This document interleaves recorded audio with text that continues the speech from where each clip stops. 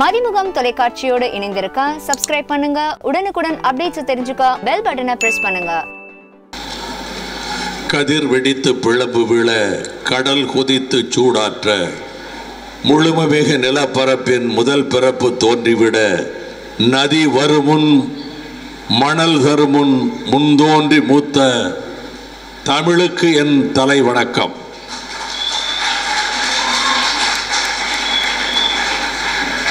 ஆயிரத்தி தொள்ளாயிரத்தி பதினாறாம் ஆண்டு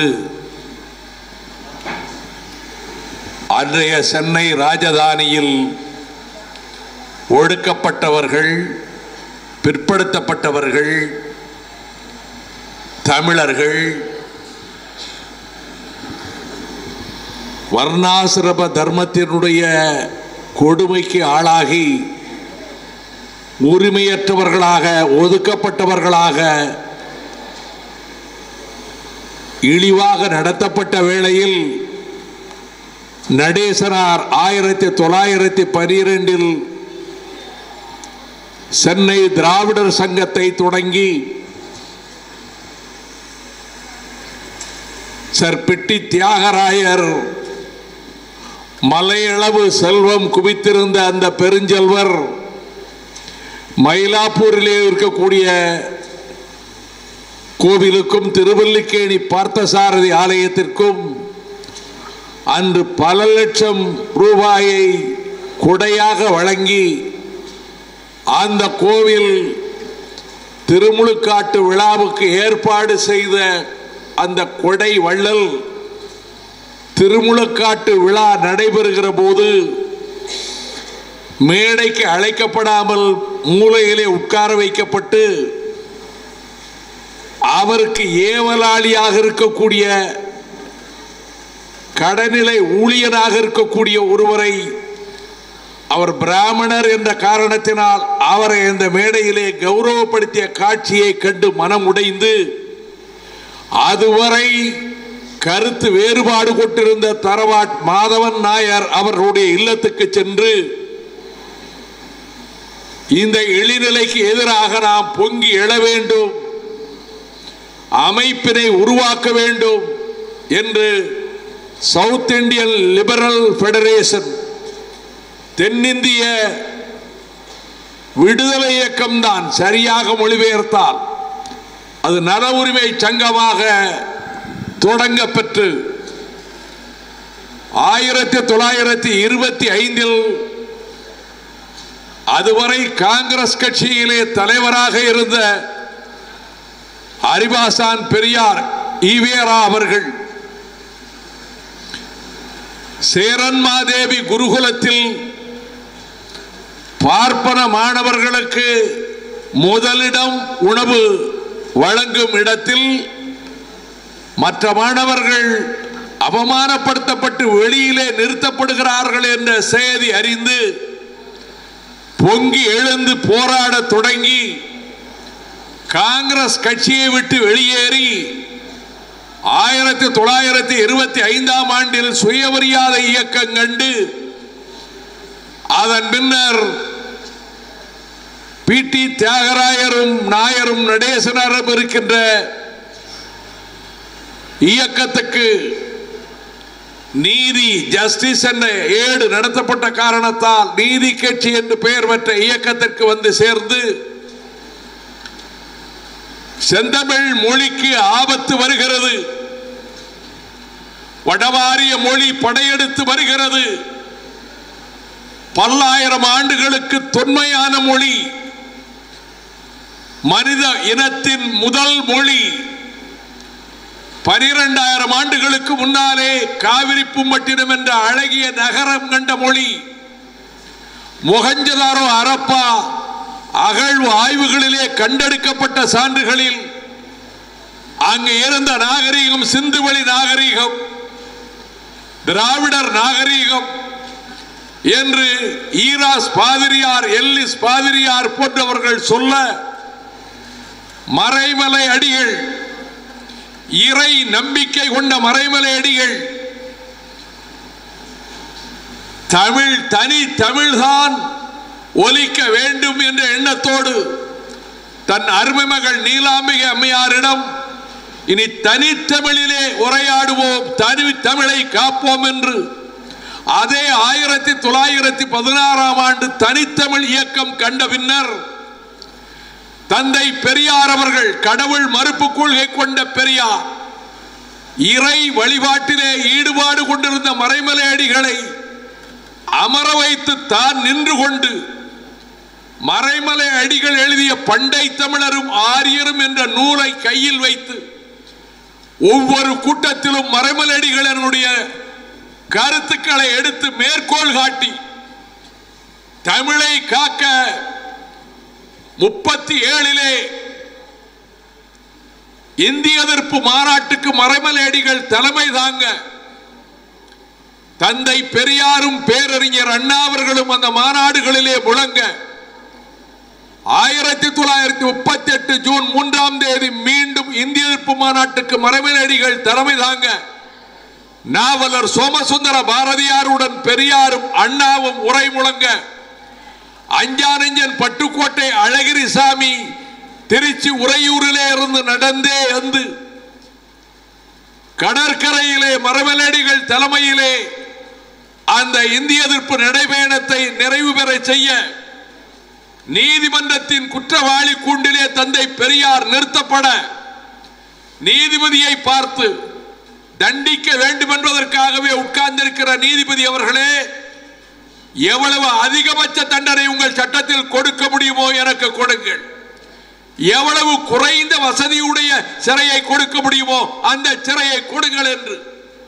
மூன்று வருடம் பெரியார் ஈவே ராமசாமிக்கு சிறை தண்டனை என்றவுடன் வெளியில் இருந்தவர்கள் கண்கலங்கி அழுத போது சிரித்த முகத்தோடு மூன்று வருடம் மூன்று வருடம் மூன்று வருடம் என்று முழங்கியவாறு வெண்ணிற தாடி காற்றில் அசைய போட்டிருந்த அந்த சால்வையை இழுத்து விட்டவாறு பெல்லாரி சிறைக்கு அனுப்பப்பட்டு அதே காலகட்டத்தில் சிறையில் அடைக்கப்பட்ட நடராசன் ஒடுக்கப்பட்ட தாழ்த்தப்பட்ட சமூகத்திலே பிறந்த நடராசன் முப்பத்தி எட்டு அந்த போராட்ட களத்துக்கு சென்ற நடராசன் ஜனவரி பனிரெண்டாம் தேதி சிறையிலே மரணமடைய. மார்ச் பதினைந்தாம் தேதி தாளமுத்து மரணமடைய. இந்த வீர தியாகிகள் உயிர் பலியானார்களே அதனை தொடர்ந்து ராஜகோபாலாச்சாரியார் முதலமைச்சராக இருந்து கொண்டு வந்து திணித்த இந்தி பின்வாங்கி ஓட அத்தகைய வரலாற்றின் தியாக வரலாற்றின் அடித்தளம் அமைத்த பிட்டி தியாகராயர் பெயராலே அமைந்திருக்கின்ற கல்லூரியில் தமிழ் மாணவர் மன்றத்தின் ஆண்டு விழாவில் நான் உரையாற்றுகின்ற அரியதோர் வாய்ப்பினை வழங்கிய தமிழ மாணவர் மன்ற நிர்வாகிகளுக்கும் மாணவர் மன்றத்திலே இருக்கின்ற மாணவ தோழர்களுக்கும் மறவாத நன்றியை தெரிவிக்கும் நேரத்தில் நிகழ்ச்சிக்கு தலைமையாற்று உரையாற்றிய கல்லூரி முதல்வர் முனைவர் பேராசிரியர் ரவிச்சந்திர பாபு அவர்களே முன்னிலை ஏற்றிருக்கின்ற பிட்டி தியாகராயருடைய கொடிவழியிலே வந்த மரியாதைக்குரிய தியாகராஜ் செட்டி கல்வி நிறுவனங்கள் அறக்கட்டளையினுடைய செயலாளர் மேலகு குமாரசாமி அவர்களே இந்த நிகழ்ச்சியில் பங்கேற்றிருக்கிற முன்னாள் கல்லூரி முதல்வர் பேராசிரியர் திருமலையா அவர்களே இந்த நிகழ்ச்சியிலே பங்கேற்றிருக்கிற தமிழ்துறை தலைவர் முன்னாள் பேராசிரியர் மணியன் அவர்களே இந்த நிகழ்ச்சிக்கு நான் வருவதற்கு காரணமாக என்னை அழைத்து நெடிய அறிமுக உரை தந்து எனக்கு பெருமை கொடுத்த பேராசிரியர் தமிழ்துறை தலைவர் மகாதேவன் அவர்களே தொடக்கத்திலேயே உணர்ச்சி மயமாக இங்கே வரவேற்புரை ஆற்றிய தமிழ் மாணவர் மன்றத்தின் சார்பிலே வர- வரவேற்புரையாற்றிய வரலாறு இரண்டாம் ஆண்டு மாணவன் அன்பு தம்பி முனீஸ்வரன் அவர்களே. நன்றி உரை ஆற்ற இருக்கிற செல்வி மீனலோச்சரி அவர்களே. முதலாம் ஆண்டு இளம் விலங்கியல் மாணவி. இங்கே அழகு தமிழில் தொகுத்து வழங்குகின்ற பேராசிரியை முனைவர் சுஜாதா அவர்களே. பேராசிரியை முனைவர் செங்கொடி அவர்களே பேராசிரியர் பெருமக்களே மாணவ செல்வங்களே பத்திரிகையாளர்களே தொலைக்காட்சி ஊடகங்களின் நண்பர்களே வணக்கம். பரபரப்பான ஒரு சூழலில் அனல் பாயும் அரசியல் வெப்பம் மிகுந்திருக்கக்கூடிய தமிழ்நாட்டில் கல்லூரிகளிலே சென்று பலர் அரசியல் பேசிக் கொண்டிருக்கிற இந்த ஐந்தாறு நாட்களுக்குள் வைகோ தியாகராசர் தியாகராயர் கல்லூரிக்கு போகிறானே திராவிட இயக்கத்தின் அடிநாதமாக திகழ்ந்த தியாகராயருடைய பெயரால் அமைந்திருக்கிற கல்லூரிக்கு செல்லுகிறானே அறக்கட்டளையின் தலைவராக பொன்மனச்சம்மல் மக்கள் திலகம் எம்ஜிஆர் சேவை செய்த கல்லூரிக்கு செல்லுகிறானே முதலமைச்சர் ஆனவுடன் முதல் முதலாக வந்து உரையாற்றிய அன்றைய முதலமைச்சர் பேரறிஞர் அண்ணாவினுடைய அந்த சங்கநாதம் எழுந்த கல்லூரிக்கு செல்லுகிறானே. எனவே சூடான செய்திகள் கிடைக்கும் அரசியலில். கல்லூரிகளுக்கு சென்று பேசுகிறவர்களுக்கெல்லாம் இவன் பதில் சொல்வான் என்று பேராவை கூர்தீட்டிக் கொண்டு வந்திருக்கின்ற பத்திரிகையாளர்களே நீங்கள் மிகவும் ஏமாந்து போவீர்கள். நான் கல்லூரிகளில் கட்சி அரசியல் பேசுகிறவன் அல்ல.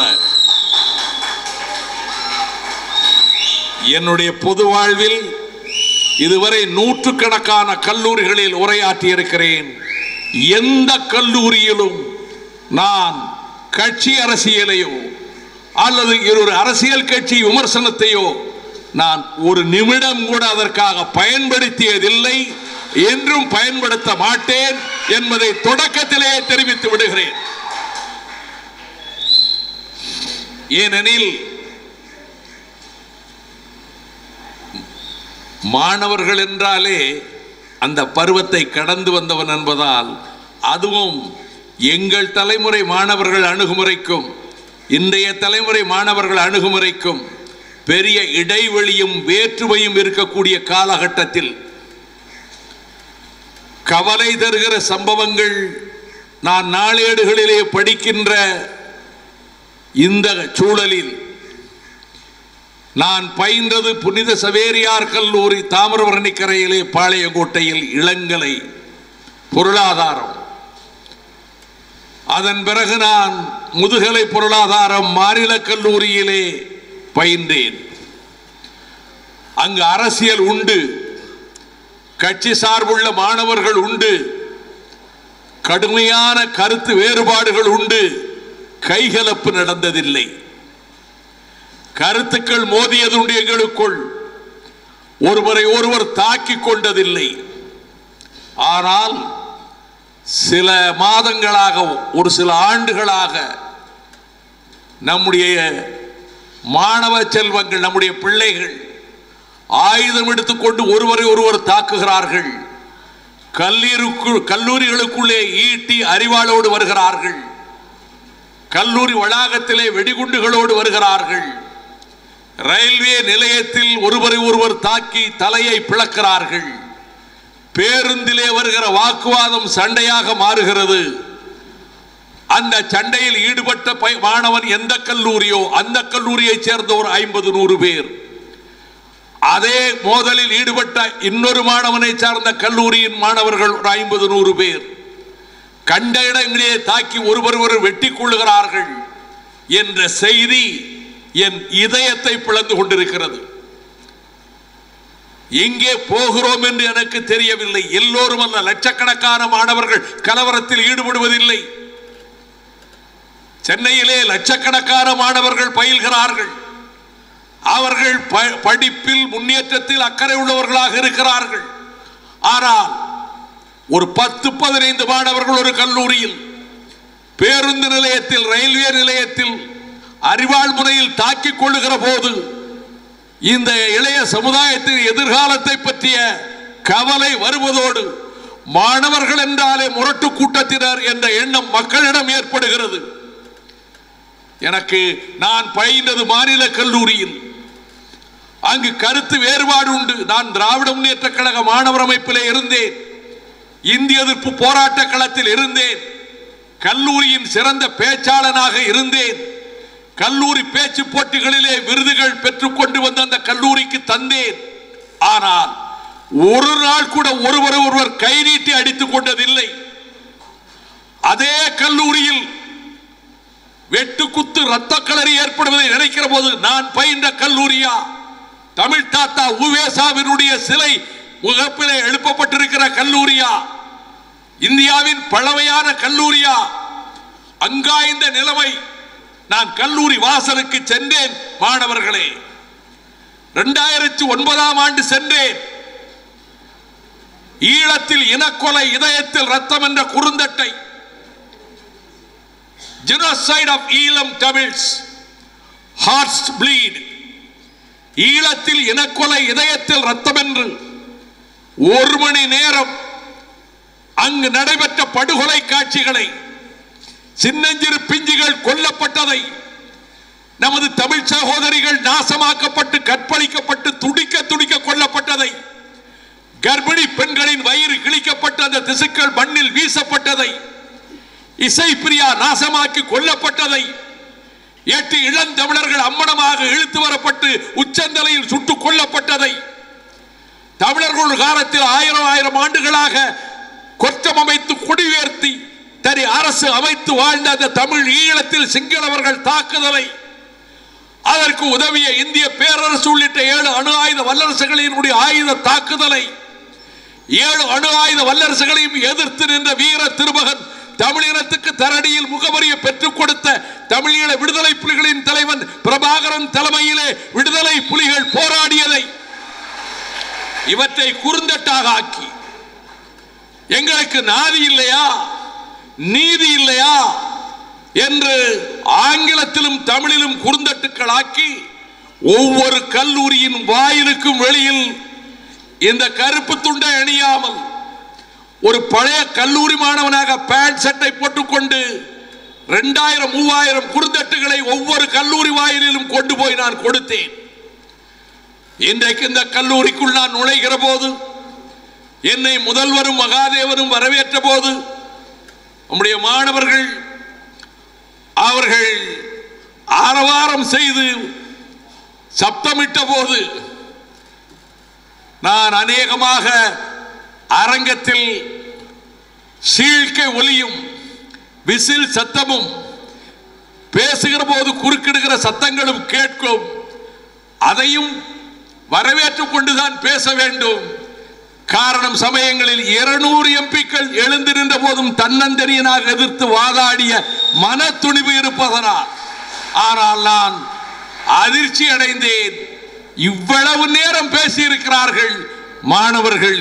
அமைதி காத்தது தியாகராஜ செட்டியாருடைய கல்லூரிக்கு பெருமை தருகிறது.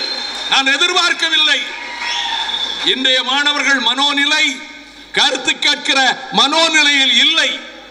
ஆனால் இந்த கல்லூரி மாணவர்கள் ஏறத்தாழ பத்து மணிக்கு நீங்கள் வர வேண்டும் என்றார்கள். நான் ஒன்பது ஐம்பத்தைந்துக்கு வளாகத்துக்குள் நுழைந்து விட்டேன். பத்து மணிக்கு நேரடியாக அரங்கத்துக்கு செல்வோம் என்றேன்.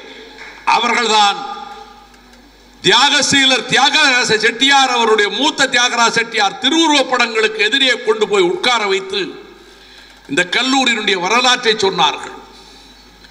தனக்கு வந்த பிரைம் மினிஸ்டர் அப்பொழுது முதல்வர் அல்ல. அந்த பதவியை ஆளுநர் அழைத்து சொன்ன போதும் மறுத்த தியாகிதான் வெள்ளுடை வேந்தர் தியாகராயர் இந்த சென்னை மாநகராட்சி அந்த பொறுப்புக்கு முதல் முதலாக வந்தவர் தியாகராயர் தொடர்ந்து பல ஆண்டுகள் இருந்தார்.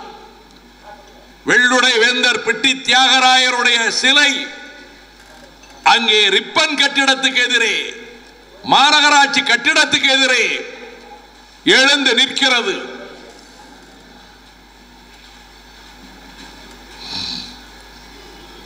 இந்த கல்லூரியில் நான் அகமும் புறமும் என்ற தலைப்பில் பேசுகிறேன் என்று கூறினேன்.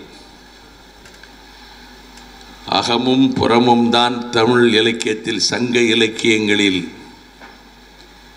முழுமையாக இருக்கக்கூடியவை. அகம் என்றால் காதல் வாழ்வு புறம் என்றால் வீர வாழ்வு. அகம் என்ற சொல்லுக்கு நிகண்டுகளில் பல பொருள் இருக்கிறது. உள்ளிடம் மனம் காம இன்பம் மருதம் மலை ஆகாயம் பூமி ஆன்மா அகந்தை இத்தனை பொருளும் அகம் என்ற சொல்லுக்கு உண்டு என தமிழ் நிகண்டுகள் கூறுகின்றன. சங்க இலக்கிய பாடல்கள் மொத்தம் ரெண்டாயிரத்தி முன்னூற்றி எண்பத்தி ஒன்பது. இந்த சங்க இலக்கிய பாடல்கள் ரெண்டாயிரத்தி முன்னூற்றி எண்பது எண்பத்தி ஒன்பது என்றால் அதில் ஆயிரத்தி எண்ணூற்றி அறுபத்தி ரெண்டு பாடல்கள் அகப்பாடல்கள் காதல் பாடல்கள். ஐநூத்தி பத்தொன்பது பாடல்கள் புறப்பாடல்கள் வீரத்தை பற்றிய பாடல்கள். இதில் ரெண்டாயிரத்தி இருநூத்தி எழுபத்தி ஒன்பது பாடல்களை நானூத்தி எழுபத்தி மூணு புலவர்கள் படைத்திருக்கிறார்கள். ரெண்டாயிரத்தி இருநூத்தி எழுபத்தி ஒன்பது சங்க இலக்கிய பாடல்களை நானூத்தி எழுபத்தி மூணு புலவர்கள் படைத்திருக்கிறார்கள்.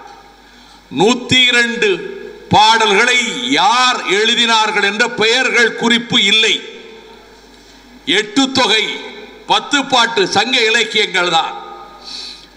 ஆம். நற்றினை குறுந்தொகை ஐங்குறுநூறு பதிற்று பத்து அகநானூறு புறநானூறு கலித்தொகை பரிபாடல் எட்டு தொகை நூல்கள்.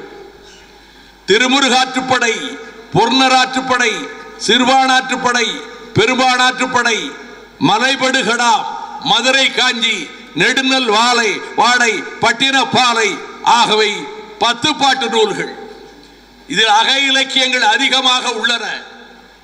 இந்த சங்க இலக்கிய பாடல்களை அகம் புறம் என்று பேச நான் முன்வந்ததற்கு காரணம் நெறியோடு வாழ்ந்தனர். அகம் என்பது காதல் வாழ்வை குறிப்பது. ஆனால் எந்த பாடலிலும் எந்த பெயரும் இருக்காது. உலக இலக்கியங்களில் தமிழ் இலக்கியங்களை தவிர இந்த பெருமை எந்த மொழி இலக்கியத்துக்கும் கிடையாது. எந்த பெயரும் கிடையாது. ஏன் திருக்குறளில் மலைகளின் பெயர்கள் கிடையாது நதிகளின் பெயர்கள் கிடையாது அரசர்களின் பெயர்கள் கிடையாது நாடுகளின் பெயர்கள் கிடையாது ஏன் தமிழ் என்ற சொல்லே கிடையாது. உலக பொதுமறை என்று சொல்லுவதற்குரிய தகுதி உள்ள ஒரே நூல் உலகத்திலேயே திருக்குறளை தவிர்த்து இன்னொன்று கிடையாது. ஆக அந்த அக இலக்கியங்களில் அறத்துப்பால் பொருட்பால் இன்பத்துப்பால் என்று மூன்றாக பகுத்தார் திருவள்ளுவர். இன்பத்துப்பாலில்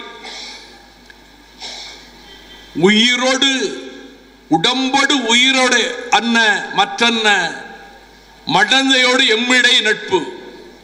இந்த உடம்பும் உயிரும் எப்படி இருக்கிறதோ அதை போலத்தான் தலைவனும் தலைவியும் ஒருவராக ஒருவருக்கொருவர் இருக்கிறார்கள் என்பதை திருமண வாழ்த்தாக சொல்லலாம். நீங்கள் எப்படி வாழ வேண்டும்? இந்த கல்லூரி வாழ்வு முடிந்து நீங்கள் சென்ற பிறகு போராட்டங்களே நிறைந்த இந்த உலக வாழ்க்கையில் வேலையில்லா திண்டாட்டம் தலைக்கு மேல் கத்தியாக தொங்கிக் கொண்டிருக்கக்கூடிய இன்றைய சூழலில் இதுதான் உங்களுக்கு வசந்த காலம். இதுதான் உங்களுக்கு பொற்காலம். இதுதான் கவலைகள் இல்லாத காலம். சாதி மத எண்ணங்களை எல்லாம் விட்டுவிட்டு உறவாடுகிற நிலை கல்லூரியில் தான் நான் கண்டேன். என் சக அரை வகுப்பு தோழன் என்ன சாதி என்று நான் அறிந்ததில்லை. நான் புகுமுகப்பு படிக்கும் போது நான் இளங்கலை பொருளியல் படிக்கிற போது நான் முதுகலை பொருளியல் படிக்கிற போது நான் சட்டக்கல்லூரியில் படிக்கிற போது என் அரை நண்பன் என்ன சாதி என்று எனக்கு தெரியாது.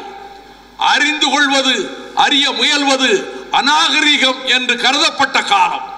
இன்று நிலை மாறி இருக்கிறது. எனக்கு அது வேதனை தருகிறது. இருப்பினும் வாழ்க்கையில் மாணவ பருவம் இந்த மகிழ்ச்சி பின்னால் தான் உங்களுக்கு தெரியும். கலகலப்பாக உங்களும் ஒருவரோடு ஒருவர் பேசி மகிழ்ந்து வீட்டில் எவ்வளவு கஷ்டங்கள் இருந்தாலும் அதை மறந்துவிட்டு நீங்கள் படித்து முடித்துவிட்டு நீங்கள் வெளியேறுகிற போதும் இந்த கல்லூரி தருகிற பட்டங்களை சுமந்து கொண்டு போனதற்கு பிறகு போராட்டங்களும் சூழ்ச்சியும் சூதும் நிறைந்திருக்கக்கூடிய சமூகத்தில் உங்களை நிலைநிறுத்திக் கொண்டு உங்கள் பெற்றோர் கனவுகளை நனவாக்குவதற்கு நீங்கள் போராட வேண்டியிருக்குமே. நீங்கள் அப்படி தியாகராயர் கல்லூரியை விட்டு வெளியேறி சென்று உங்கள் வாழ்வில் நீங்கள் வெற்றி பெற வேண்டும் என்று நான் வாழ்த்துகிறேன். தோல்விகளை குறித்து கலங்காதீர்கள். ஏமாற்றங்களை எண்ணி நீங்கள் வேதனைப்படாதீர்கள். வாழ்க்கை அதுதான். வாழ்க்கை என்பது போராட்டங்களும் இன்னல்களும் ஏற்ற தாழ்வுகளும் ஏமாற்றங்களும் நிறைந்ததுதான் வாழ்க்கை.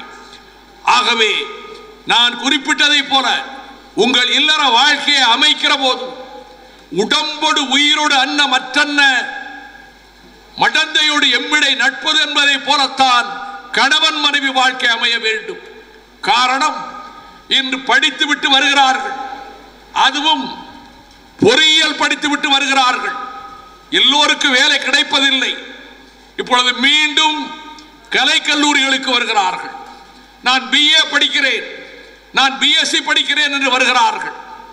நான் புகுமுக வகுப்பில் எல்லா பாடத்திலும் டிஸ்டிங்ஷன் வாங்கினேன். எங்கள் கல்லூரி முதல்வர் அருள் தந்தை சுசேடிகளார் அவர்களிடம் சென்று எனக்கு பிஏ வகுப்பில் இடம் வேண்டும் என்று கேட்டேன். அவர் பொருளாதார துறையினுடைய ஹெட் ஆஃப் தி டிபார்ட்மெண்ட் அந்த துறையின் தலைவர். அவருக்கு எல்லையில்லாத மகிழ்ச்சி. யாரும் பிஏ வகுப்புக்கு முதலில் வரமாட்டார்கள்.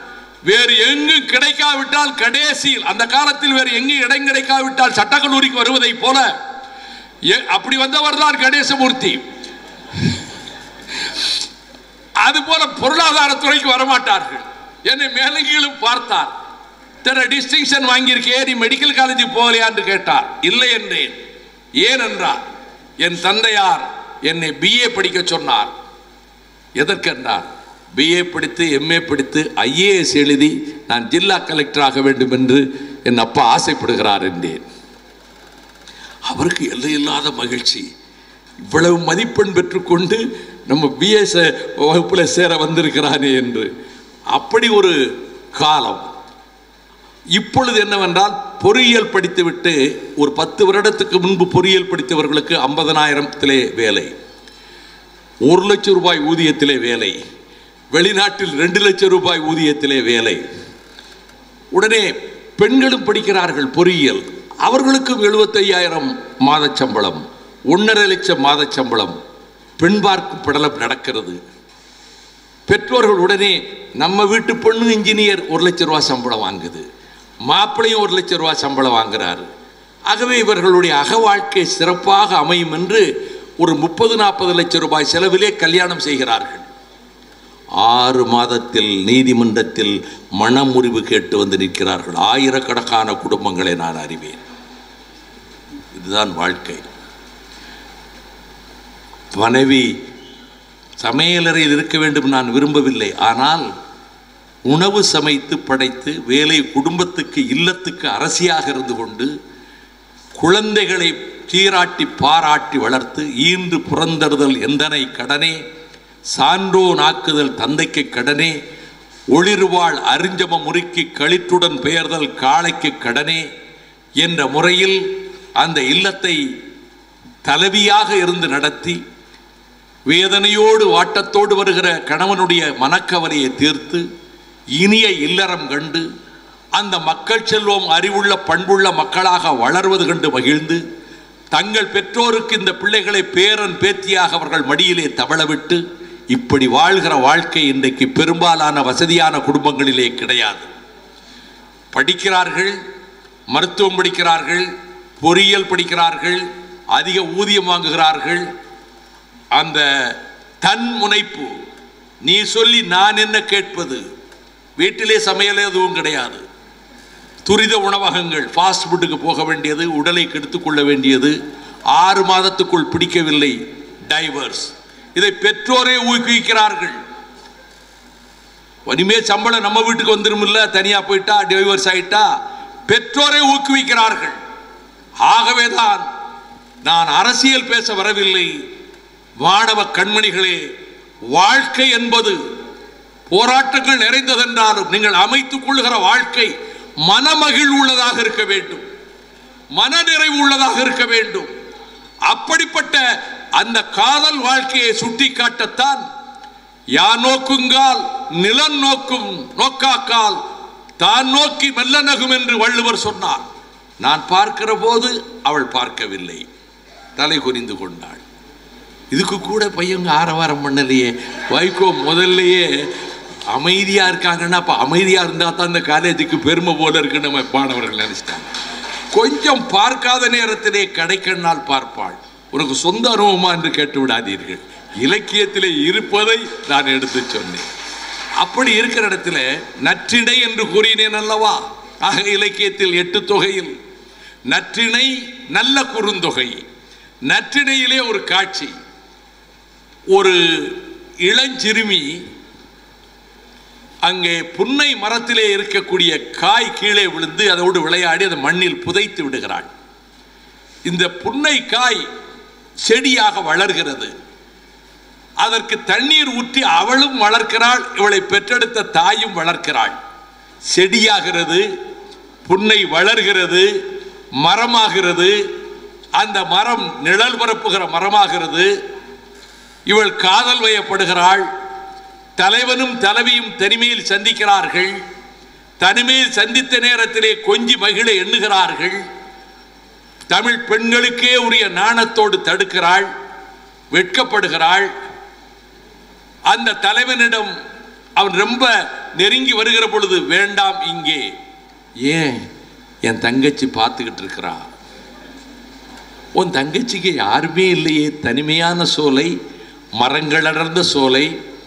இல்லை இந்த பொன்னை மரம்தான் என் தங்கச்சி. அது பார்த்து கொண்டிருப்பதனாலே நாம் சோலையின் வேறெடுத்து இது நற்றிணையிலே இருக்கிற ஒரு அகத்துறை பாடல் காட்சி. ஒருவன் தேர் செலுத்தி கொண்டு வருகிறான்.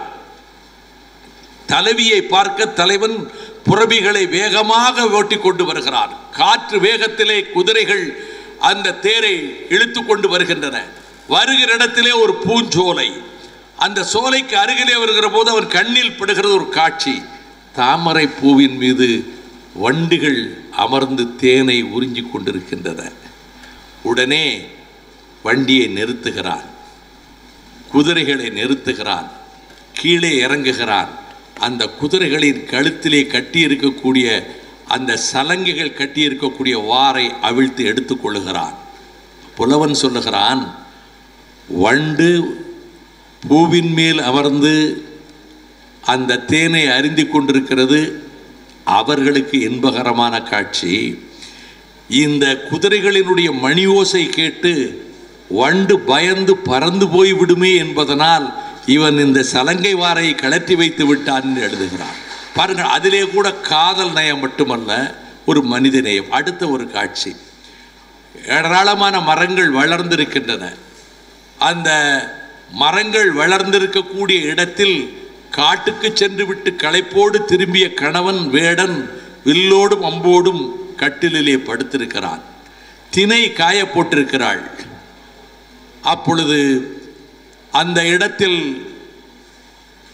சற்று தொலைவிலே ஒரு பெண்மானும் ஆண்மானும் கொஞ்சி மகிழ்ந்து கொண்டிருக்கின்றன இவளுக்கு கோழிகள் திணையை கொத்தி தின்னுகின்றன திணையெல்லாம் போய்விடுமே.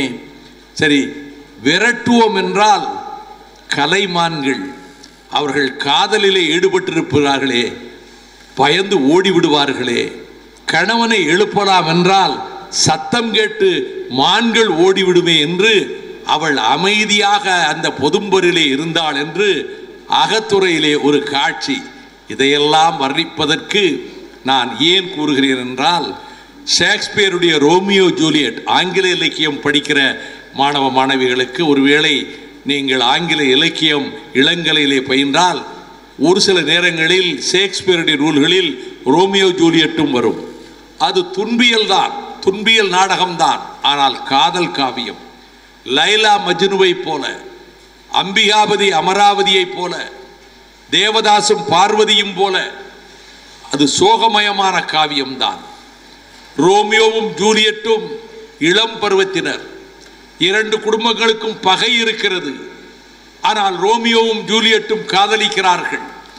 ரோமியோ வர்ணிப்பதாக ஷேக்ஸ்பியர் எழுதுகிறார் two of the fairest stars of all the heavens having some business do entreat her eyes எல்லா சொர்க்கத்திலும் இருக்கக்கூடிய மிக ஒளி பொருந்திய இரண்டு நட்சத்திரங்கள் என் ஜூலியட்டினுடைய கண்களிலே வந்து இறங்கி விட்டன. இரவு நேரம். அங்கே வானத்திலே விண்மீன்கள் பளிச்சிட்டுக் கொண்டிருக்கின்றன. நட்சத்திரங்கள் ஒளி வீசிக் கொண்டிருக்கின்றன. ஷேக்ஸ்பியர் சொல்லுகிறான் எல்லா சொர்க்கங்களுக்கும் ஒளி தரக்கூடிய அந்த இரண்டு நட்சத்திரங்கள் ஜூலியட் என்கின்ற அந்த பேரழகியனுடைய கண்களிலே வந்து இறங்கிய போது ஷேக்ஸ்பியர் மீண்டும் வர்ணிக்கிறான் அவள் கண்ண கதுப்புகளினுடைய செம்மை அந்த இரண்டு நட்சத்திரங்களின் ஒளியை விட ஒளியாக இருப்பதனால் பட்டப்பகல் சூரிய வெப்ப வெளிச்சம் வருகிற போது சிமினி விளக்கு எப்படி பொருளற்று போய்விடுமோ அதை போல ஜூலியட்டினுடைய சிவந்த கன்னத்தினுடைய ஒளிக்கு முன்னாரே அந்த ரெண்டு நட்சத்திரங்களும் கூட ஒளி இழந்து போய்விட்டன. அடுத்து சொல்லுகிறார் இந்த கண்ண கதுப்பினுடைய ஒளி பார்த்து விடிந்து விட்டது என்று கருதி பறவைகள் பாட ஆரம்பிக்கின்றன. அடுத்து சொல்வதுதான் உச்சக்கட்டம். அதோ அவள் கையை ஒரு பக்கமாக கையிலே ஒரு கைக்குட்டை வைத்துக்கொண்டு கன்னத்தை அதிலே சாய்த்து கொண்டு உட்கார்ந்திருக்கிறாளே நான் அந்த கைக்குட்டையாக இருக்கக்கூடாதா? இது வந்து ஷேக்ஸ்பியர் காதல் காவியத்திலே அவர் எழுதியது. எவ்வளவு உன்னதமான கருத்து அதை கம்பன் சொல்லுகிறான் வேறு விதத்திலே. விஸ்வாமுத்திர மாமுனிவரோடு ராமனும் லக்குவரும் தாடகை வதம் செய்துவிட்டு மிதிலைக்குள்ளே வருகிறார்கள். மிதிலையின் எல்லைக்குள்ளே வருகிறார்கள். அங்கே நிலா முற்றத்திலே அந்த வீட்டினுடைய பால்கரி அந்த நிலா முற்ற மாடத்திலே சீதை நிற்கிறாள்.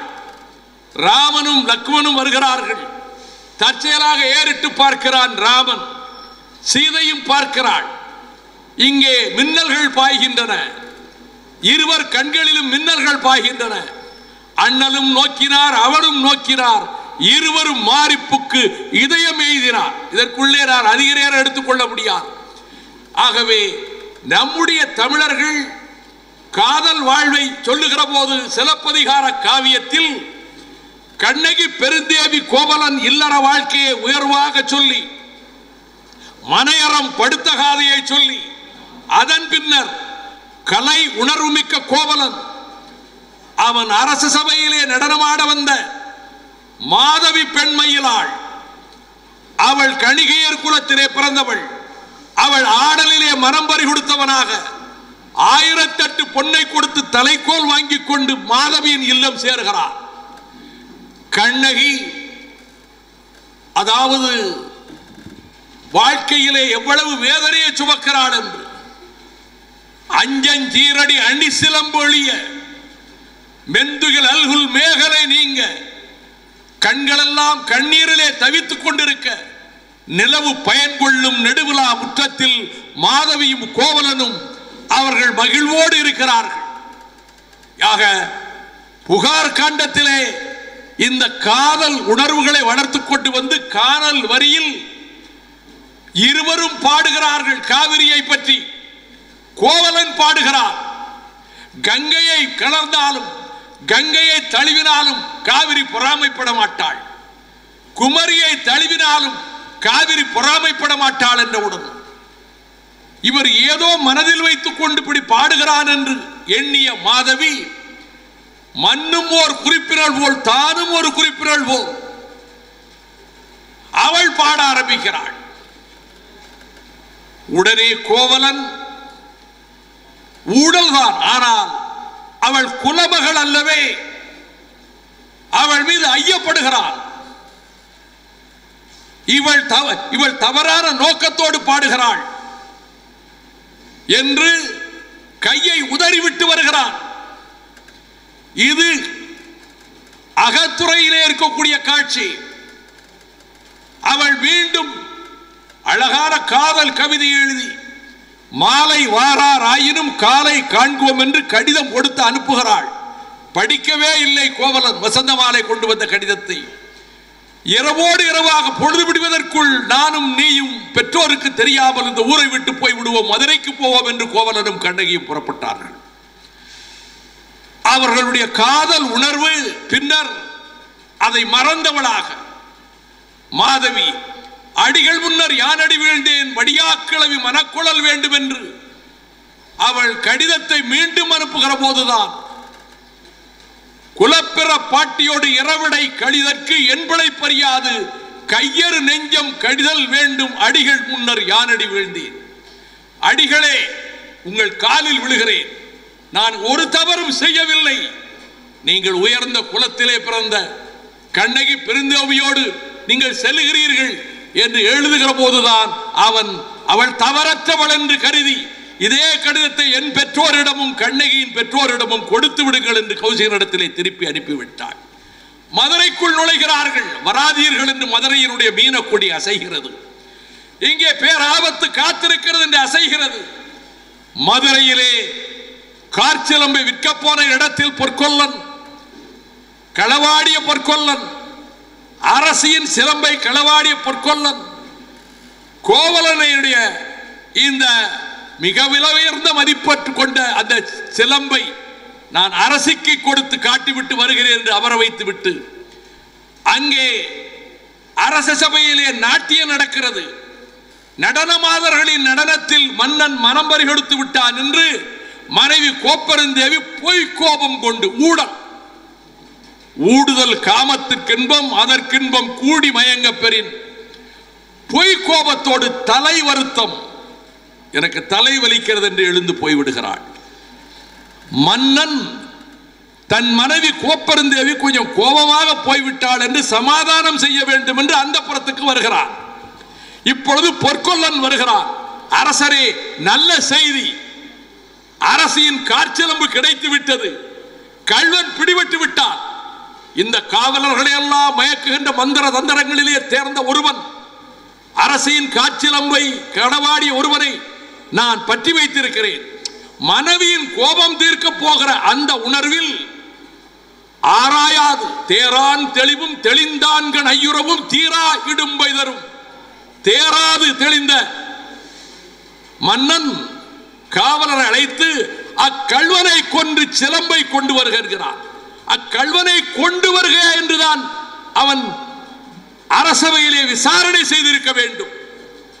இது விதி ஊழ்வினை வந்து உறுத்தும் என்பதும் என்று சொன்னதை போல. ஆக வாழ் கொலை செய்ய பிடிக்க போனவர்கள் ஒருவனுக்கு மனம் வரவில்லை. இவனை பார்த்தால் நல்லவனாக தெரிகிறதே.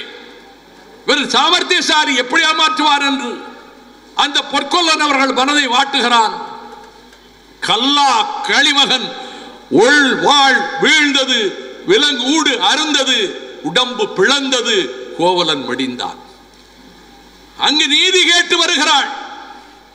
தேரா மன்னா செப்புவது உடையேன். கண்களில் நீர் நிறைந்த பெண்ணே நீ யார் என்று கேட்கிறான்? என் கண்ணின் கண்ணீரையா கேட்கிறாய்? வாயிற் கடமணி நடுங்க ஆவிற் உகுநீர் நெஞ்சு சுடத்தாண்டன் அரும்பரல் புதல்வனை ஆளியில் வடித்தோன் பெரும்பெயர் புகாரன் பதியே காராம்பசுவின் கண்ணீருக்காக தன் மகனை தேர்காலில் இட்டானே அந்த சோழவண்ணனுடைய நாட்டிலே இருந்து வருகிறேன். இது நீதி நிலைநாட்டப்பட்டது. யானோ அரசன் யானே கல்வன் என்று நான் நேரம் அதிகமாக உண்பதால் எதற்குள் சொல்ல விரும்பவில்லை. வாயில் பட்டுத்தரித்தது மணி. என்னுடைய சிலம்பு முத்துடையறியே மன்னன் சொன்னான். என்னுடைய கால் சிலம்பு மாணிக்க பரல் கொண்டது மணியுடையறியே. எந்த சிலம்பை உடைத்தாள்? கண்ணகி கொண்டு வந்த சிலம்பை உடைக்கவில்லை. வாசுபா மாணிக்கம் மிக தெளிவாக எழுதியிருப்பார். ஏற்கனவே கைப்பற்றி கொண்டு வந்த சிலம்பை வரு- தருக என்று கேட்டு அதைத்தான் உடைக்கிறான் கண்ணகி கொண்டு வந்த சிலம்பை உடைத்திருந்தால் ஒருவேளை கோவலன் வேறொரு சிலம்பை திருடி இருக்கிறாமோ என்ற சந்தேகம் வரும் என்பதனால். மன்னன் வாய் முதல் பட்டு தெரித்தது மணியே தாழ்ந்த குடையன் அப்படியே தளர்ந்த செங்கோலன் விழுந்து உயிரை விட்டான் யானைய கள்வன். கோப்பருந்தேவியும் உயிரை விட்டாள். தந்தை பெரியாரின் நினைவுதான் எனக்கு வருகிறது. நாங்கள் சட்டக்கல்லூரி ஆண்டு விழாவுக்கு அழைத்திருந்தோம். இரவு நேரம். இங்கு ஜெனரேட்டர் ஏற்பாடு செய்திருக்கிறோம். நாங்கள் செய்ய தவறிவிட்டோம். பெரியார் பேச ஆரம்பித்த ஒரு பத்து நிமிடத்தில் ஒலிபெருக்கியும் ஒளியும் அணைந்து விட்டது. அப்பொழுது கொஞ்சம் கட்சி அரசியல் அதிகமாக சட்டக்கல்லூரியில் இருந்த நேரம். காங்கிரஸ் மாணவர்களும் இருந்தார்கள் நாங்கள் திமுக மாணவர்களும் இருந்தோம். கட்சியே இல்லாத மாணவர்கள் நிறைய இருக்கிறார்கள். நாங்கள் கெல்லிஸ் ஹாஸ்டலில் பஸ்ஸில் புறப்பட்டா விசில் சத்தம் இந்த லா காலேஜ் என்ட்ரன்ஸ் வரைக்கும் அடிப்பாங்க. அங்கே நல்லா கோழி பிரியாணி சாப்பாடு சாப்பிட வேண்டியது கிளாஸ் ரூமில் வந்து பெஞ்சில் அப்படி தைய வச்சுட்டு தூங்க வேண்டியது. ரோல் கால் எழுக்கும்போது ஒரே ஆள் ஏழு பேருக்கு ரோல் கால் கொடுக்க வேண்டியது. ப்ரொஃபஸருக்கு தெரியும் இவன் வரலன்னு. Mister Subramanian yes sir Raman yes sir Tamizhiniyan yes sir Tamizharasan yes sir இவன் ஒருத்தனும் வந்திருக்க மாட்டான். அவருக்கு தெரியும் இவனுக்கு காலேஜ் கிளாஸ் ரூமில் வந்து கலாட்டா பண்ணாமல் இவங்க வராமல் இருக்கிறதே நல்லது. அப்படிப்பட்ட சட்டக்கல்லூரி மாணவர்கள் பேருந்து ஊழியர்களோடு மோதி கொலையே விழுந்துருச்சு ஹாஸ்டலில் பெரியார் பேசலை. இப்பயாவது அஞ்சு நிமிஷத்தில் வெளிச்சம் வந்தது. இருபது நிமிஷம் வெளிச்சமும் வரல ஒலியும் இல்லை. ஆனால் நிசப்தம் நிலவியது. பிறகு ஒளி வந்தது. ஒலிபெருக்கி இயங்கியது. பெரியார் சொன்னார் நான் கல்லூரி காணாத கிழவன். பள்ளி படிப்பை முறையாக படித்து முடிக்காதவன். நீங்கள் பட்டப்படிப்பு முடித்து சட்டம் பயிலுகிறவர்கள். சட்டக்கல்லூரி மாணவர்கள் முரட்டு பிள்ளைகள் என்று என்னிடம் சொன்னார்கள். ஆனால் இந்த படிக்காத கிழவனை மதித்து இருபது நிமிடம் நீங்கள் அமைதி காத்தீர்களே. என் வாழ்நாளில் நான் மறக்க மாட்டேன் என்று சொன்னார். அதை போலத்தான் தியாகராயர் கல்லூரி மாணவர்களும் இனி எவ்வளவு நேரம்தான் இந்த மனுஷன் மைக்க பிடிப்பாரோன்னு எந்திரிச்சு போயிடுவாங்களோன்னு பார்த்தேன். என்னை மதித்து நீங்கள் அமர்ந்திருப்பதற்கு மிக்க நன்றி. நான் அடுத்து சுருக்கமாக வருகிறேன். வடதிசை சென்று படையெடுத்தான். குயில் ஆலுவத்திலே கனக விசையர் முடித்தலை நெறித்தான்.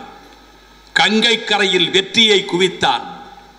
கண்ணகி பெருந்தேவிக்கு சிலை வெடிப்பதற்கு இமயத்திலிருந்து அந்த கசடர்கள் தலையிலே கல் சுமக்க வைத்து பத்திரி தெய்வத்துக்கு கோட்டம் எழுப்பி சிலை எழுப்பினான் சேர வேந்தன் செங்குட்டுவன். காணல் பாணி கனக விசேரதம் முடித்தலை நெறித்தது இது புறக்காட்சி. ஒரு காவியத்துக்குள்ளே அகக்காட்சியை கண்டீர்கள். நீதியின் மாட்சியும் கண்டீர்கள். புறக்காட்சியும் கண்டீர்கள். நான் இன்னும் புறநானூற்றுக்குள் செல்லவில்லை. அகத்துறை இலக்கியங்களையே உங்களிடம் பேசிக் கொண்டிருந்தேன். புறத்துறை இலக்கியங்களை பேச வேண்டிய நிலையில் அந்த வீரம் உலகில் எங்கும் இல்லாத வீரம். நான் கல்லூரியில் புகுமுகப்பு படிக்கும் போது எங்கள் பேராசிரியர் டிவல் தெர்மாப்ளே யுத்தகல காட்சியை என் கண் முன்னால் விவரித்தார். லியோனிடாஸ் தலைமையில் முன்னூறு ஸ்பார்டா வீரர்கள் பத்து லட்சம் பேர் கொண்ட பாரசீக படையை தடுத்து நிறுத்தி அந்த காட்சியை விவரித்தார். அது அழியா சித்திரமாக என்னுடைய நெஞ்சிலே பதிந்தது. இன்றைக்கும் நீங்கள் தொலைக்காட்சியிலே ஹெச்பிஓலையோ அல்லது ஸ்டார் மூவிஸ்லேயோ த்ரீ ஹண்ட்ரட் என்ற படத்தை போடுவான் அடிக்கடி. அது உண்மை சம்பவம். கிரேக்கத்திலே நடைபெற்ற உண்மை சம்பவம். ஆறு மாத காலம் பத்து லட்சம் படை வீரர்களை தடுத்து நின்றவர்கள் ஸ்பார்டாவின் முன்னூறு வீரர்கள். அதைவிட வீரமான காட்சியை தமிழ் இலக்கியத்திலே காணலாம். உன் மகன் எங்கே என்று கேட்கிறான் தெருவிலே வருகிறவன். சிற்றில் தூண் பற்றி நின்பகன் யாண்டுளன் என வினவுதியாயின் யாண்டுளன் என அரியனாயினும் புலி சேர்ந்து போகிய கல்லளை போல. தோன்றுவன் மாதோ போர்க்களத்தானே. என் மகன் எங்கே போனான் என்று எனக்கு தெரியாது. ஆனால் அந்த புலி படுத்திருந்த குகை இதுதான் என்று தன் வயிறை காட்டுவாள். புலி சேர்ந்து போகிய கல்லளை போல ஈன்ற வயிறு அவளுடைய வயிறு தோன்றுவன் மாதே போர்க்களத்தால் வேலும் வாழும் உராய்கிற இடத்திலே அவனை பார்க்கலாம். இது அவனுடைய வீரம். அதே நேரத்தில் இன்றைக்கு சிரியாவில் நடக்கிறது குழந்தைகள் கொல்லப்படுகிறார்கள் என்று காட்சி வருகிறது. பல்யாக சாலை முதுகுடுமி பெருவெழுதி அவன் சொல்லுகிறான் ஆவும் ஆணியர் பார்ப்பன மக்களும் பெண்டிரும் பிணியுடையோரும் தென்புலம் வாழும் தன்குல புதல்வர்க்கு அருங்கட நீற்றும் பொன்போல் புதல்வர் பெறாதீரும். எம் அம்பு கடிவிடுதும் நும்மரன் சேர்வின் மறையோர் பெண்கள் பசுக்கள் பிள்ளைகள் இன்னும் பிறக்காது. பிள்ளை பிறந்தால் கொள்ளி வைக்கின்ற எள்ளும் தண்ணீரும் வைக்கின்ற நீர்க்கடன் செய்கிற பிள்ளைகளை பெறாத பெற்றோரும் நீங்கள் பாதுகாப்பான இடத்துக்கு போய்விடுங்கள். இப்பொழுது நாங்கள் போர் தொடுக்க போகிறோம். எம் அம்பு கடிபிடு கடிது விடுதும் இப்பொழுது அம்பை தொடுக்க போகிறேன். இது உலகத்தில் எந்த போர்க்கள காட்சியிலும் காண முடியாது. வீரம் பிறந்தது மனிதாபிமானம் இருந்தது. மனித நேயம் இருந்தது. கைவேல் களித்தொடு வருபவன் வெய்வேல் பரியா நகும். ஒரு வேல் போய்விட்டது ஒரு வேளத்தின் மீது. போர் நடக்கிறது. மார்பிலே தைத்திருக்கிற வேலை பார்த்து இன்னொரு வேல் இருக்கிறது என்று மகிழ்ந்து சிரிக்கிறான் வீரன். இந்த வீரம் தமிழனின் வீரம். அது மட்டுமல்ல மனித நேயத்தோடு கூடிய வீரம். ஆவூர் போர்க்களம். ஆவூர் கோட்டைக்குள் நெடுங்கிள்ளி இருக்கிறார். நலங்கிள்ளி படையெடுத்து வருகிறார் தாயத்தார் ரெண்டு பேரும் சோழ மன்னர்கள் தான். நலங்கிள்ளி படையெடுத்து வந்து முற்றுகை போட்டு விட்டார். உணவுப் பொருள் உள்ளே செல்ல முடியவில்லை. பாலும் தண்ணீரும் காய்கறிகளும் செல்ல முடியவில்லை. யானைகள் பசியால் துடித்து கீழே விழுந்து புரண்டு கதறுகின்றன. குழந்தைகள் பால் இல்லாமல் துடிதுடித்து கதறுகின்றன. பெண்கள் கூந்தலில் மலர்கள் வைக்க முடியாமல் அலங்கோலமான நிலையிலே இருக்கிறார்கள். இந்த காட்சியை கேள்விப்படுகிறார் கோவூர்களார். அவர் வந்து சொல்லுகிறார் அறவை ஆயின் நினதன திருத்தல். அற உணர்வு இருந்தால் நலங்கிள்ளி நீ உள்ளே வந்து எடுத்துக்கொள் என்று நீ கதவை திறந்து விடு மறவையாயின் நீ போரிலே ஈடுபட வேண்டும் என்ற மர உணர்வு இருந்தால் போரோடு திறத்தல் போருக்கு வெளியே போ. எண்டும் இல்லாமல் இந்த நீண்ட மதில் சுவருக்கு பக்கத்தில் ஒளிந்து கிடக்கிறாயே. இது வெட்கக்கேடு. இதுவும் புலவன் சொன்னதுதான். குளமுற்றத்து துஞ்சிய கிள்ளி விடவன் பகை நாட்டு வேந்தனின் பிள்ளைகளை கொண்டு வந்து யாரையும் காலிலே இடர செய்ய முனைந்த போது புலவன் சொல்லுகிறான் அந்த குழந்தைகள் அழுது கொண்டிருந்த குழந்தைகள் யாரை வருவதை பார்த்து வேடிக்கை பார்த்து சிரிக்கின்றதே. இந்த குழந்தைகளை யாரை கொல்ல போகிறாய்? இவையெல்லாம் புறக்கள காட்சிகள். யுத்தகல காட்சிகள் உடம்பெல்லாம் வேல் பாய்ந்த ரத்தம் கொட்டிக் கொண்டிருக்கிறது. வயிறு கீறி குடல்கள் வெளியே வருகின்றன. அவன் நொச்சி மாலை அணிந்திருக்கிறான். அந்த நொச்சி மாலை ரத்தத்திலே நனைந்து விட்டது. கழுகு வருகிறது. குடல் என்று கருதி அந்த நொச்சி மாலையை கொத்தி கொண்டு போகுது ரத்தம் படிந்த அந்த நொச்சி மாலையை குடல் என்று கத்தி கொண்டு கொத்தி கொண்டு போகிறது. நொச்சி உச்சிக்கு சென்றது. அந்த வீரன் மார்பிலே கிடந்ததனாலே அதற்கு பெருமை வந்தது என்று கவிஞன் சொன்னான். இத்தகைய வீரம் நிறைந்த மரக்கள காட்சிகள் எண்ணற்றவை இருக்கின்றன. என் தகப்பன் யுத்தத்தில் தோற்றான். மடிந்தான். என் கணவன் போரில் மடிந்தான். பால்மணம் மாறாயன் பாலகனை செய்வி முடித்து சிங்காரித்து கையிலே வேல் கொடுத்து களத்துக்கு அனுப்பினேன். வந்தவர்கள் உன் மகன் யுத்த களத்தை விட்டு ஓடிவிட்டான் புறமுதுகு காட்டி விட்டான் என்று செய்தி கேட்டு தணலில் விழுந்த மெழுகன இதயம் உருக வாளோடு புறப்பட்டாள் அவள் தாய். செங்களம் ப- பிணங்கள் கிடக்கின்ற படுபிணம் பெயரா. பிணங்கள் இன்னும் எடுத்துட்டு போகல. படுபிணம் பெயரா. செங்களம் துளவு போல் மகன் சிதைந்து கிடக்கின்ற காட்சியை பார்த்து அவள் மகிழ்ந்தாள். என் மகன் மார்பு காட்டி மடிந்திருக்கிறான். இதுவும் புறநானூற்றில் இருக்கிறது. இத்தகைய வீர உணர்வு கொண்ட மக்கள் உலகிலே தமிழர்கள். இந்த பொ- இப்படிப்பட்ட மான உணர்வும் அதாவது மான உணர்வுள்ளவர்கள் உயிரை கொடுப்பார்கள். மானம் வரின் உயிரை கொடுப்பார்கள் அவர்களுடைய பெருமையை இந்த உலகம் தொழுது வணங்கும்.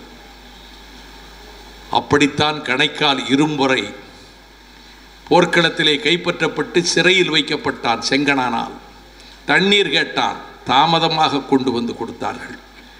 எதிரி நாட்டு சிறையில் அடைபட்டு கிடக்கிறேன் நாடாண்ட மன்னன். அவன் தாமதமாக தருகிற தண்ணீரை பருகி நான் உயிர் வாழ வேண்டுமா? ஒரு துளி நீரும் பருகாமல் வடக்கிருந்து உயிர் விட்டான் கணைக்கால் இரும்புரை. அவன் சொல்லுகிறான் குழவி இறப்பினும் ஊந்தடி பிறப்பினும் ஆளன்றென்று வாழல் தப்பார். தொடர்படு யமலியின் இடர்படு திரிய கேளல் கேளிர் வேளாண் சிறுபதம் மதுகை இன்றி வயிற்று தீ தனிய ஈன்மரோயு உலகத்தானே. குழந்தை இறந்து பிறந்தாலும் ஊனமுடைய குழந்தையாக பிறந்தாலும் மார்பில் வாழ் கொண்டு கீறி மண்ணில் புதைப்பது தமிழ் வீர மரபு. ஆனால் என்னை இன்றைக்கு ஒரு நாயை கட்டி வைப்பதைப் போல் சங்கிரியால் கட்டி வைத்திருக்கிறான் தண்ணீர் கேட்டு அவமானமாக குடிக்கின்ற என்னை போன்ற ஈன பிறவிகளை தமிழ் பெண்கள் இனி ஈன்று எடுக்காமல் இருப்பார்களாக என்று வடக்கிருந்து உயிர் விட்டான் கிடைக்காத இருமுறை என்னுடைய அன்பு மாணவ தோழர்களே கல்லூரி பருவத்தில் தான் தன்னலம் இருக்காது சுயநலம் இருக்காது வீர உணர்வு மான உணர்வு இருக்கும். இந்த மண்ணை காக்க வேண்டும் மொழியை காக்க வேண்டும் என்ற உணர்வு இருக்கும். சுயநலம் நெஞ்சை மண்டாது. சாதி வேற்றுமைகள் மனதிலே தோன்றாது. அதுதான் கல்லூரி மாணவ பருவம். அப்படிப்பட்ட மாணவர்களைத்தான் பேரறிஞர் அண்ணா அவர்கள் மாணவர்கள் உரிமை போர்ப்படையின் ஈட்டி முனைகள் என்று அவர் குறிப்பிட்டார். அத்தகைய மாணவர்களில் ஒருவனை உங்கள் முன்னால் கொண்டு வந்து நிறுத்துகிறேன். அவன் பிறந்தது அயர்லாந்திலே டப்ளின் நகரத்திலே ட்ரினிட்டி கல்லூரியில் அவன் சேருகிற போது அவனுக்கு வயது பதினைந்து. அயர்லாந்து ஆங்கில நாட்டுக்கு அடிமைப்பட்டு கிடந்தது. இங்கிலாந்து நாட்டுக்கு அடிமைப்பட்டு கிடந்தது. பதினைந்து ஆண்டுகள் அடிமை வாழ்விலே தவித்தனர். இவன் சிறந்த பேச்சாளன் கல்லூரியிலே. அவன் பெயர் ராபர்ட் எம்மட். அவன் பேசத் தொடங்கினான். ஆயிரம் ஆயிரமாக மாணவர்கள் திரண்டார்கள். மக்கள் மன்றத்தில் பேசினார். லட்சக்கணக்கில் மக்கள் திரண்டார்கள். ஆங்கில ஏகாதிபத்தியத்தை எதிர்த்து அயர்லாந்து விடுதலை பெற வேண்டும் என்று கர்ஜனை புரிந்தார். பிரித்தானிய பேரரசு அவனை கைது செய்ய முயன்றது. கேள்விப்பட்டு தப்பி பிரான்சுக்கு சென்றான். அவன் பிறந்த வருடம் ஆயிரத்தி எழுநூத்தி எழுபத்தி ஒன்பது. ஆயிரத்தி எழுநூத்தி எழுபத்தி எட்டு அமெரிக்க சுதந்திர பிரகடனம் செய்த இரண்டாம் ஆண்டில் பிறந்தான். பிரெஞ்சு புரட்சி வெடிப்பதற்கு பதினோரு வருடங்களுக்கு முன்னால் பிறந்தான். அவன் பிறக்கிற போதுதான் பதினோ அவனுக்கு பதினோரு வயது ஆகிற போதுதான் பிரெஞ்சு புரட்சி நடந்தது.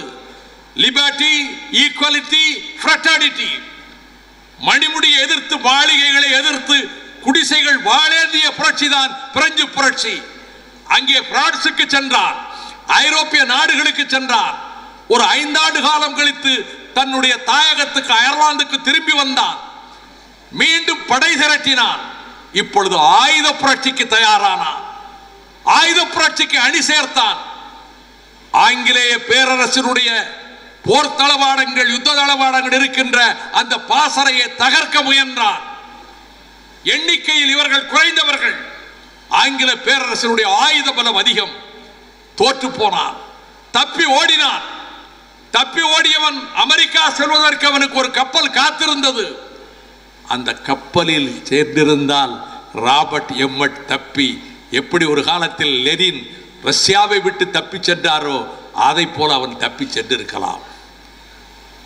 இது புறம் அவன் அகத்திலே அவன் காதலி இருந்தாள் அவன் நெஞ்சகத்திலே அவன் காதலி இருந்தாள் கடைசியாக ஒரு முறை காதலியை பார்த்து நான் அமெரிக்காவுக்கு செல்கிறேன். திரும்பி ஒருவேளை வந்தால் உன்னை சந்திக்கிறேன் என்று கூறுவதற்காக சென்றான். அவன் துறைமுகத்திலே கப்பலில் ஏறி செல்ல வேண்டியவன் காதலியை பார்க்க வந்ததால் உளவு உளவுத்துறை மூலம் அறிந்து கொண்ட பிரிட்டிஷ் இராணுவம் அவனை கைது செய்தது. லண்டன் சிறைச்சாலையில் கொண்டு போய் அடைத்தது. மூன்று ஆண்டுகள் கழித்து அவன் பிறந்தது ஆயிரத்தி எழுநூற்றி எழுபத்தி எட்டு. ஆயிரத்தி எண்ணூற்றி மூன்றாம் ஆண்டு நீதிமன்றத்திலே விசாரணை நடக்கிறது. ஜூரிகள் உட்கார்ந்திருக்கிறார்கள். தீர்ப்பு வரப்போகிறது. அவனுக்கு தெரியும். ஆயிரத்தி எண்ணூற்றி மூணு செப்டம்பர் பத்தொன்பதாம் தேதி அன்று கோர்ட்டிலே நிறுத்தப்பட்டான். இதை நீங்கள் அவசியம் கேட்க வேண்டும். இந்து பத்திரிகையினுடைய நிருபர் என்னுடைய அருமை நண்பர் விஜயகுமார் நான் எங்கோ பேசிய இந்த உரையை கேட்டுவிட்டு எத்தனையோ உரைவீச்சாளர்கள் பேச்சை நான் படித்திருக்கிறேன். உலகத்தை கதிகலங்க வைத்த பேச்சாளர்கள் ஆண்டனி முதல் டெமாஸ்டரிஸ் முதல் பாராளுமன்றத்தை உலுக்கிய எட்மண்ட் பர்க் முதல் நான் ஒரு கனவு காணுகிறேன் என்று பேசிய மார்ட்டின் லூதர் முதல் லூதர் கிங் முதல் படித்திருக்கிறேன். நீங்கள் ஒரு கல்லூரி மாணவன் பேசியதை சொன்னீர்களே நான் பழர்த்து அதை படித்துவிட்டு மெய்சிலிர்த்து போனேன். கல்லூரிகளுக்கு சென்றால் இதை பேசுங்கள் என்று என்னிடம் சொன்னார் கல்லூரி மாணவர்களிடம் இதை பேசுங்கள் என்று சொன்னார் இப்பொழுது அவன் நீதிமன்றத்திலே கொண்டு வந்து நிறுத்தப்படுகிறான். உங்களுக்கு மரண தண்டனை விதிக்கலாமா வேண்டாமா என்பதற்கு நீங்கள் விளக்கம் கொடுங்கள் என்று நீதிபதி கேட்கிறான்.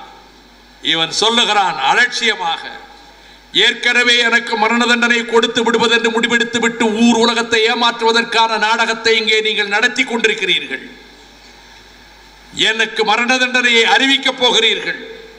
எனக்கு மரண தண்டனை கொடுத்து விடாதீர்கள். தண்டனையை குறையுங்கள் என்று ஒருபோதும் நான் மன்றாடப் போவதில்லை. நான் செய்தது தவறு என்று ஒருபோதும் சொல்லப் போவதில்லை. உடனே குறுக்கிடுகிறார் நீதிபதி. இங்கு அரசியல் பேசக்கூடாது. நான் அரசியல் பேசவில்லை. நீதிபதி அவர்களே எனக்கு மரண தண்டனை உறுதி. பனி படர்ந்த புதைகுழி அதோ வரவேற்க காத்துக் கொண்டிருக்கிறது. The cold grave is awaiting for கொஞ்சம் நீங்கள் குறுக்கிடாதீர்கள். என் மீது என்ன குற்றச்சாட்டு சொன்னீர்கள்? பிரெஞ்சு நாட்டு படைகளையும் உள்ளே கொண்டு வந்து நான் கலவரம் செய்ய முயன்றதாக குற்றச்சாட்டு. என் தாயக விடுதலைக்காக நான் போராடுகிறேன். அயர்லாந்து விடுதலைக்காக போராடுகிறேன். வேற்று நாட்டு படைகளை கொண்டு வந்து இங்கே நிறுத்துகின்ற உணர்வு எனக்கு கிடையாது. என் தாய் நாட்டு மக்களுக்கு சொல்வேன் தப்பித்தவரி பிரெஞ்சு நாட்டுக்காரனோ எவனோ இங்கே நுழைவதானா? கையில் வாளோடு ஒரு கையில் தீப்பந்தத்தோடும் அவர்களை தடுத்து நிறுத்துங்கள். அவர்கள் கொண்டு வருகின்ற படகுகளை தீயிட்டு கொளுத்துங்கள் என்று பேசிவிட்டு அவன் சொல்லுகிறான். என்னுடைய race my race is run என் ஓட்டம் ஓடி முடிந்து விட்டது. என் ஓட்டம் ஓடி முடிந்து விட்டது. My lamp of life is nearly getting extinguished என்னுடைய உயிர் என்கின்ற இந்த சுடர் கொஞ்சம் கொஞ்சமாக அணைந்து கொண்டிருக்கிறது. I cry for the charity of silence நான் இறந்த பிறகு ஆரவாரம் செய்யாதீர்கள். I crave the charity of silence அதை விட முக்கியமாக my name should not be inscribed on my tomb என் பெயர் என் கல்லறையில் எழுதக்கூடாது. There should not be any epitaph இரங்கல் கவிதை எதுவும் எழுதக்கூடாது. என் பெயரையே என் கல்லறையில் எழுதக்கூடாது. ஒருவேளை என் தாயகம் அயர்லாந்து என்றைக்காவது விடுதலை பெற்றார். என் கல்லறை எங்கே இருக்கிறது என்று ஒருவேளை யாராவது அறிய முயர்ந்தால் அன்றைக்கு வேண்டுமானால் அந்த கல்லறையில் என் பெயரை எழுதி கொள்ளுங்கள். I am going to sink in the bosom of the டோம் கல்லறையின் மா அந்த மார்புக்குள்ளே தூங்க போகிறேன். ஐ ஹவ் டன் பேசி முடித்து விட்டேன். இது நீதிமன்றத்திலே ராபர்ட் எம்மட் என்கின்ற மாணவன் பேசிய பேச்சு.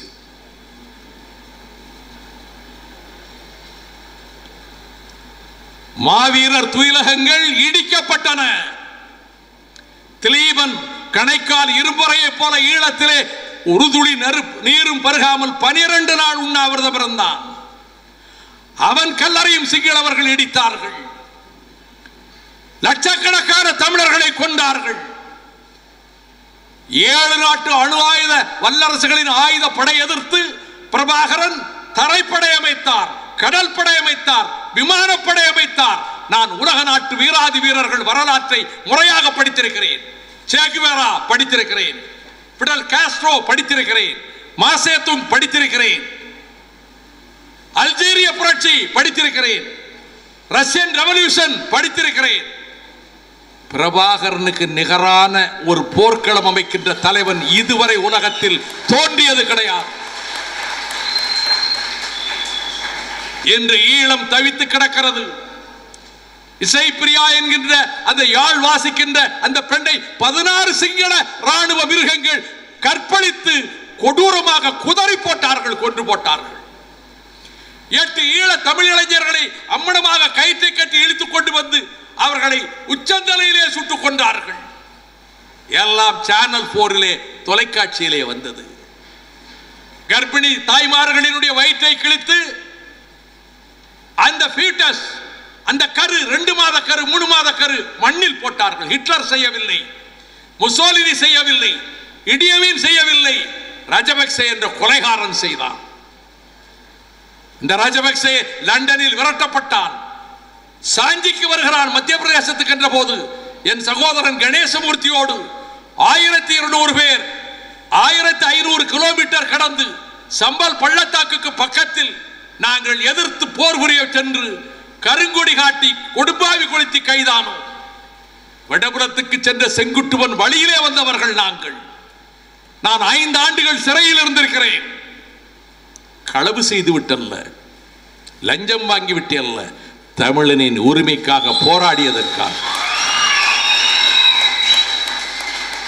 நான் ஜெனீவாவிலே பேசினேன். என்னை சிங்களவர்கள் பத்து பேர் சூழ்ந்து கொண்டார்கள். நீ விடுதலை புலி நீ ஒரு கொலைகாரன் என்றார்கள். நான் பயப்படவில்லை. You are blood thirsty monsters ரத்த வெறிபிடித்த பிசாசுகள் என்று சொன்னேன். மாணவர்களே உங்களை கேட்கிறேன். நம் தொப்புள் கொடி உறவுகள் இன்றைக்கு அவர்கள் அழிக்கப்பட்டு தொண்ணூறாயிரம் விதவைகள் இருக்கிறார்கள். சுதந்திர வாக்கெடுப்பு பொது வாக்கெடுப்பு வேண்டும் என்று நான் தான் பிரசல்ஸில் முதல் முதலாக கேட்டேன். ரெஃபரண்டம். அது நடக்கும் ஒரு நாள். எத்தனையோ நாடுகள் ரெஃபரண்டத்திலே மலர்ந்திருக்கின்றன. சிங்களவரோடு சேர்ந்து வாழ முடியாது. ஏன் வாழ வேண்டும்? உரிமை இழந்து அடிமைகளாக வாழ வேண்டுமா? இந்த உணர்வு இது அரசியல் அல்ல. கட்சி அரசியல் அல்ல. நம்முடைய ரத்த பந்தம் உள்ளவர்கள் நம் இன மக்கள் அவர்கள் அழிக்கப்படுகிற போது எட்டு கோடி பேர் நாம் இருந்து வெட்கக்கேடு. முத்துக்குமார் தீக்குளித்தான் மூலக்கொத்தளம் சுடுகாட்டிலே அவனை எரித்தோம். அமரேசன் தீக்குளித்தார் மூலக்கொத்தளம் சுடுகாட்டிலே நாம் எரித்தோம்.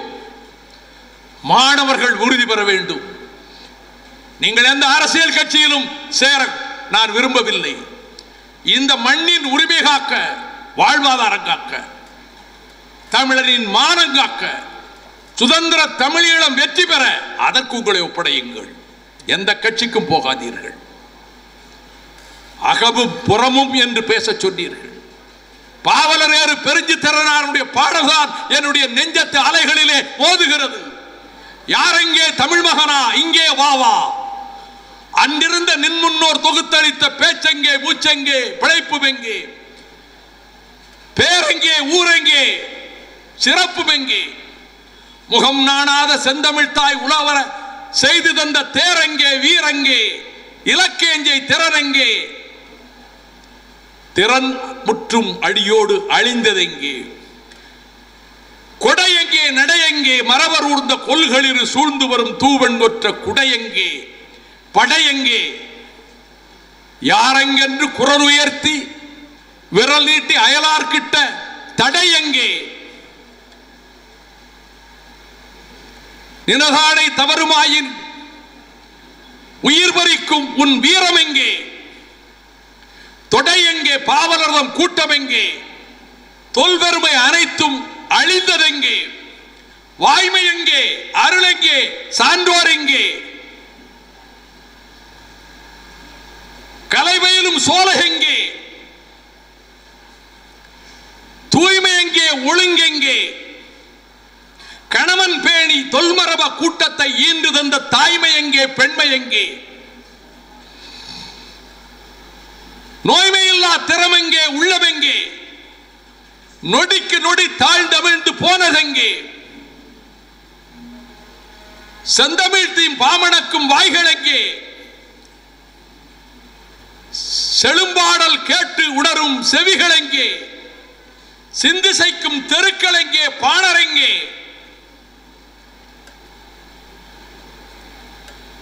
தவறு நேரின் தம் உயிரை வெறுத்து ஒதுக்கும் மானம் எங்கே? தந்திரமை இல்லாமல் வாழாத தாளெங்கே ஆண்மை எங்கே? அன்றிருந்த நின்முன்னோர் யாத்து தந்த அறம் எங்கே? பொருள் எங்கே? இன்பம் எங்கே? குன்றிட்ட விளக்கெனவே உலகுக்கு இந்த குரல் நெறிக்கு நடைமாடா தமிழர் எங்கே நடைமாறா தமிழர் எங்கே? இன்றிருக்கும் நாகரீக போலி போக்கின் இழிவு நிலை முடிவதெங்கே? விடுவும் எங்கே? மன்றிருக்கும் தமிழெங்கே அது போமாயின் மறுநொடியில் நான் எங்கே? நீயும் தான் எங்கே? வணக்கம். மதிமுகம் தொலைக்காட்சியோடு இணைந்திருக்க சப்ஸ்கிரைப் பண்ணுங்க. உடனுக்குடன் அப்டேட்ஸ் தெரிஞ்சுக்க பெல் பட்டனை பிரஸ் பண்ணுங்க.